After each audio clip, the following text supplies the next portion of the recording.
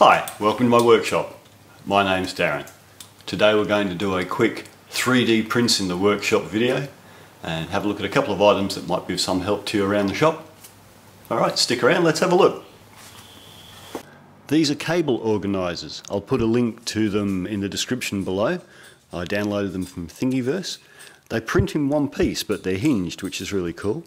Um, the idea being that uh, you screw these to your surface like that, a little screw through there, pass your cable through or drop your cable in and it clicks shut like so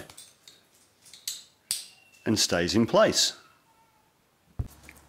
And this is what the cable organisers look like in use. So I've got a cable run through here, you can see quite easily. I can lift it up, put another cable in there if I want to, and then snap it shut. They're pretty neat. I recently bought this Tactix heavy duty utility cabinet with eight removable organisers. It's pretty good actually, I'm pretty happy with it. It's lockable, uh, there's plenty of little boxes in it. Well, let's have a look at it, because it's right there. So there it is.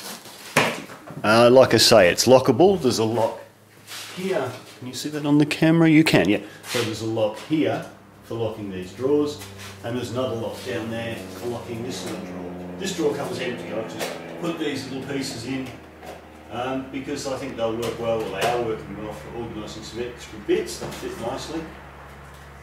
But they're actually out of some of my other Tactix drawers, so what I'm going to do is print some new ones up and replace those and put the those ones back in their original containers. Now, that said, I've already done a little print on one of the others. Is. Alright, so in this one here,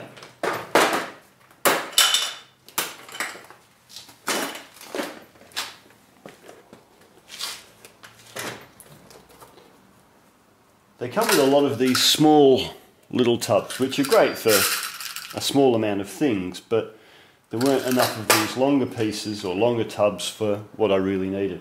So I printed my own and they fit really well. They've got the little, I wonder if I can show this on camera without spilling it out. Can you see that? Got the little recess underneath which fits on those little squares in the box to hold them in place. You can perhaps see those squares better now that I've lifted those out of the way. So yeah, just made my own little one. So I'll pop that up on Thingiverse in case anybody else wants to print one out. Next up, I've got this equal space divider to show you. Made in several parts, uh, held together with, they're basically plastic rivets that you put a bit of glue in there to hold it all together. So you can expand it out to however you, far apart you want it. Mark out your uh, divisions divide something up equally. Let me grab a piece of wood that's wide enough to warrant this. So if I want to divide this into three pieces, for example, I could align this edge and this edge here with the edges of the wood. And these would be the two cuts I would need to make to have one, two, three pieces of wood. And of course you can print out as many of the pieces as you want and just keep adding to it. And this one's called the expandable equal space divider, so very similar indeed. Uh, this one screws together, that's probably the main difference. It's smaller, more compact, and to be honest, it feels a little bit more rigid. I think I prefer this one, to be honest, but that's just my personal preference. So again, same sort of deal. I've made some extra pieces for this one, so this will go longer.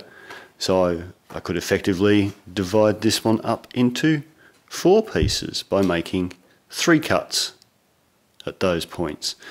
So there you go. We've got the expandable equal space divider that screws together and the equal space divider that glues together. The equal space divider is bigger so if you were to add some more bits on you could do wider pieces of wood, but it won't compact up as much as this one. Okay, hopefully those items will be of some help to you around the workshop. I will put links to them in the description below. have a great day, and I will catch you in the next video. Bye for now.